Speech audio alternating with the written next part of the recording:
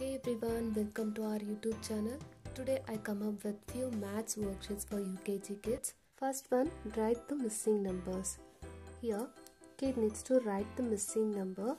I've given 21 to 29, up to 21, 22, 23, 24, 25, 26, 25, 96, 97.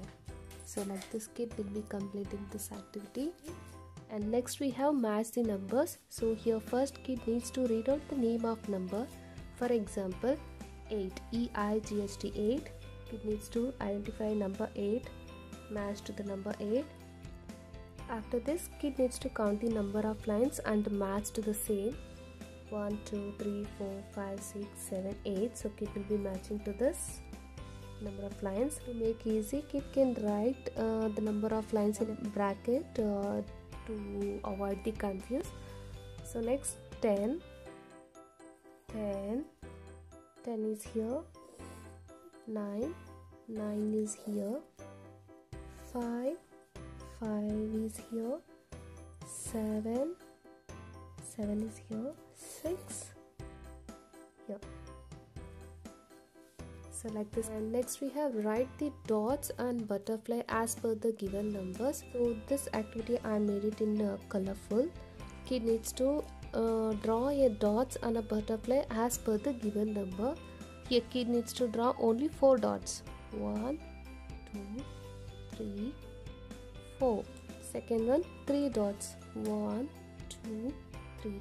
As per their choice kid can change the color and draw a circles and butterfly 5 1 2 3 4 5 6 1 2 3 4 5 6 2 1 and 2 after drawing the patterns on butterfly kid needs to count how many dots he had made on the butterfly. 4 5 6 7 8 9 10 11 12 13 14 15 16 17 18 19 and 20 so total number of dots 20 so like this kid will be completing this here I have uh, given some sentences. Based on that kid will be completing this activity. Uh, first one write four raindrops so kid gonna write four raindrops one two three four. One two three four.